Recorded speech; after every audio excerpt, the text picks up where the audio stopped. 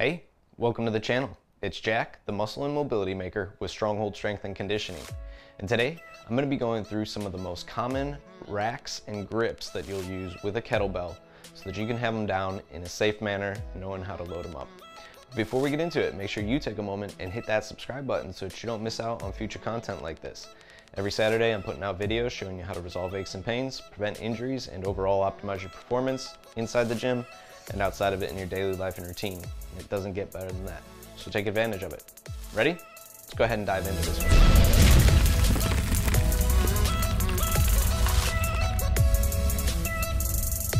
All right, like I said, today we're gonna be going over the most common grips and racks that you'll use with a kettlebell in your kettlebell training.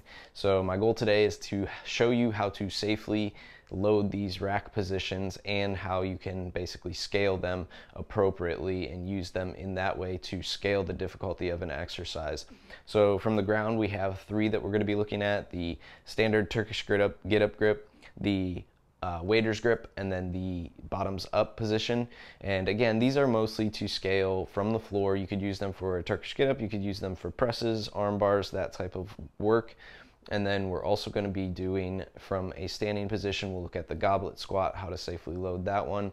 We'll look at the uh, front rack position and the uh, bottoms up position for those as well and teach you again how to use this effectively to load those positions so that you can from a standing position do squats presses all that good stuff with these different racks and make your exercises a little bit more challenging as you're doing them by just gripping differently ready let's go ahead and get into it all right, the first grip we're going to start with is a standard grip. You'll see me turn to my side here and get my wrist in a neutral position, gripping toward the top horn. My forearm's actually running diagonally across the bell here.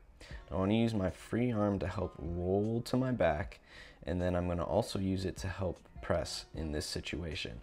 Now I can use this grip for Turkish get-ups, I could use this grip for any floor pressing work that I would want to do, and I can also use this for arm bars and screwdrivers. So these are a couple options that you might be using this grip for.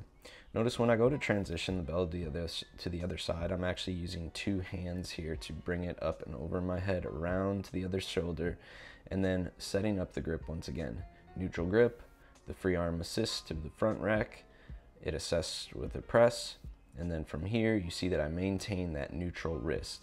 One of the biggest problems people face with kettlebell grip is that it will bend their forearm back and actually cause them to break at the wrist in the extended position here.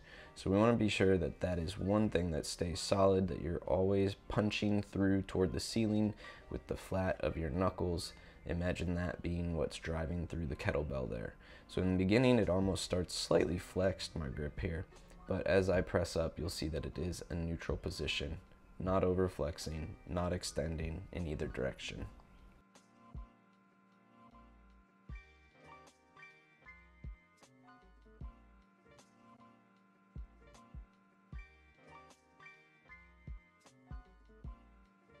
Now to make our grip a little bit harder, we're gonna show a waiter's grip.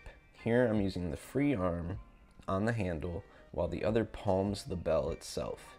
I'm going to adjust the bell so that it sits with the handle facing toward me. I just want to make sure that I feel that balanced in my hand nice. When the bell's a little bit smaller, you can actually loop the handle between the index and thumb to give it a little bit more stability in the beginning as you're learning the grip. But as it gets bigger, it's all on you to really control the balance of that weight in your palm. As you go to lower, use the free hand, turn to your side, and then we're going to bring it back overhead again with both arms to the other side. Again, the hand that's being loaded is on the same side as the bell. I'm using the free hand on the handle to help pull the weight into position, get to my back. I'm going to adjust it so it sits nicely in my hand, assist with the press so that I have good balance. And then I take that hand out, have it ready at all times just to be able to help catch that bell if I need.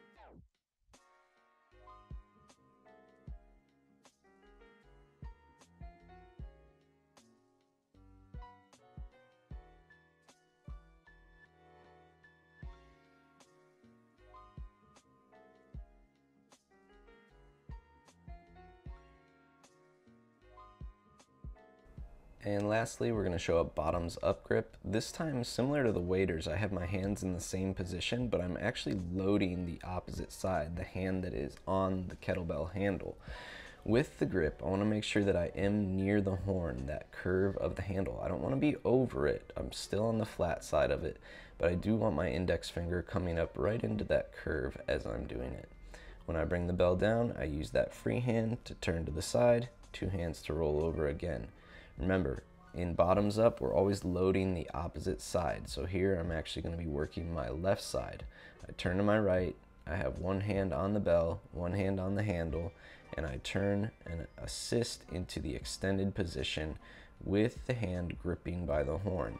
I want a firm grip on this. I want to make sure that I am crushing and using irradiation. So I am crushing the handle with that grip as hard as I can making sure that I'm maintaining that firm, solid position.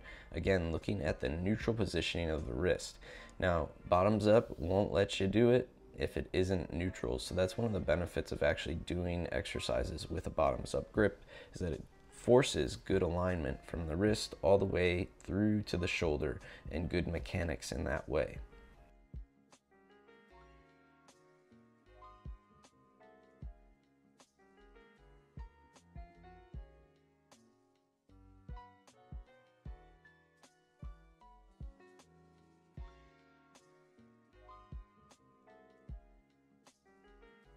All right, next we're moving to the vertical positions from standing. Here we're gonna be showing how to do a solid goblet. So we wanna start with a deadlift, move into a high pull, and then I'm actually, while the weight is floating, sliding my hands around the handle to the bell.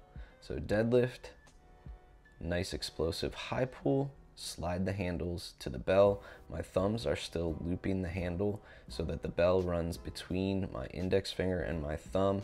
I'm simply using that float to allow my hands to transition from the handle to the bell. I wanna make sure my vertical pull is as straight as possible keeping the bell close to my body, making sure it's not getting too far out in front of me. That's important. And I also want to make sure that I'm locking in a solid plank at the top position, not overshooting the hips, making sure that the shoulders are in line with the hips, with the ankles and the knees. Next, we're going to look at the front rack position.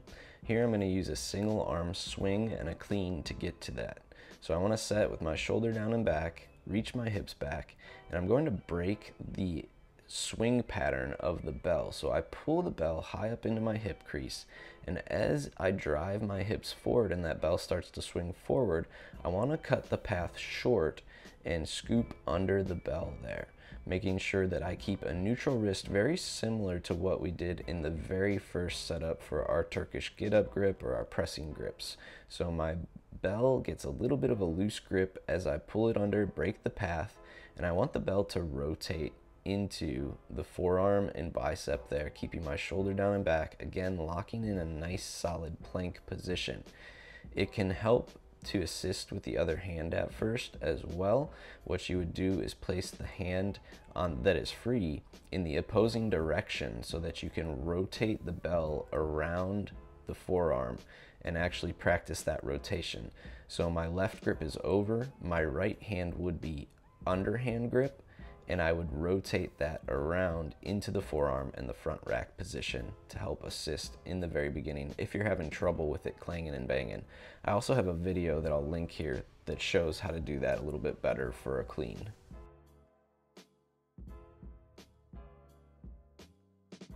And our last position for today we'll talk about is the bottoms up from a standing position. We're gonna use the swing to bring it into that bottoms up position. Now this gets a little bit challenging at first, and again, this is why we're talking about scaling these exercises. But the key is that you use a nice swing to set yourself up. So shoulders set, get a good grip on it. I'm leaning my weight over that bell, letting it help set my shoulder, making sure that I have a solid grip on the bell. Keep it rolled back. We're gonna put the thumb into the pelvis at first and then rotate the thumb back over the shoulder, locking in that solid plank at the top. The key is that everything gets locked in when it's at that top position. So we need to have enough of a swing to really get that weight up into that vertical position. And then we need to have a good solid plank to stop it at the vertical position as well. So making sure that we're able to bring it to a dead stop in that top position, wrist over elbow, and shoulders down and back connecting to the core well.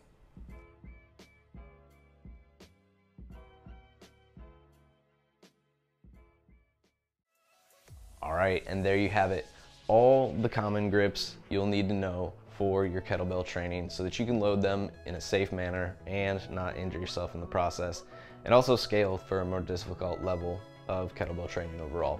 If you like this video, make sure you let me know by clicking that big thumbs up down below and take a moment to share this one with a friend if they're getting their kettlebell training.